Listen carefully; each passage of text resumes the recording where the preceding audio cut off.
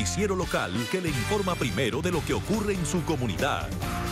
Muy buenas tardes, bienvenidos a esta emisión de jueves del noticiero. Les saluda nuevamente con gusto Vanessa Ramírez. Se espera que cientos de residentes de todas las partes del Valle Central asistan a la gran reapertura de la calle Fulton este sábado. Y aunque la celebración es algo que declara el fin y el comienzo de una era, comerciantes dicen están esperando que ese día llegue con ansias, ya que después de dos años, pues no pueden esperar más. Desiree López nos tiene la historia. Desiree.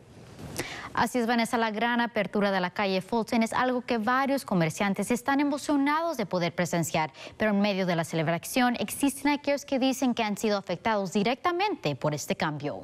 Armando Toribio, dueño de la joyería Herrera, lleva 12 años con su negocio localizado en el corazón del centro comercial Fulton.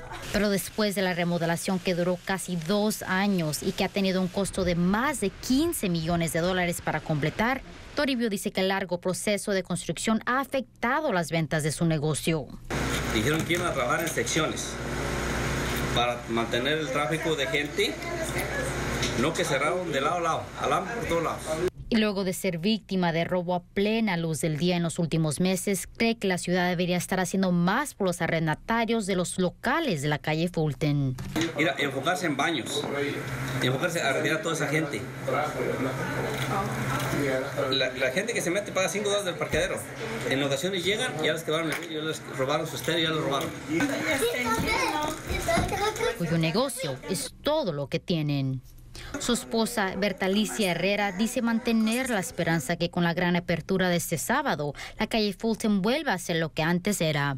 Ah, yo pienso que al principio estábamos negativamente pensando que no iba a ser a favor de los negocios.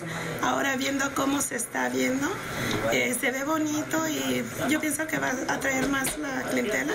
Al igual que su esposa, Armando dice sentirse optimista sobre el futuro. Eh, esperamos, esperamos, esperamos que sí, pero están poniendo los esos para los parquímetros. Quienes están trabajando, nomás coras y coras. Y, y, una cora, te dan 10 minutos. ¿Qué vas a hacer tú con 10 minutos? Se espera que con estos cambios nuevos negocios también lleguen al centro comercial, ayudando a que la calle sea un lugar popular para visitar.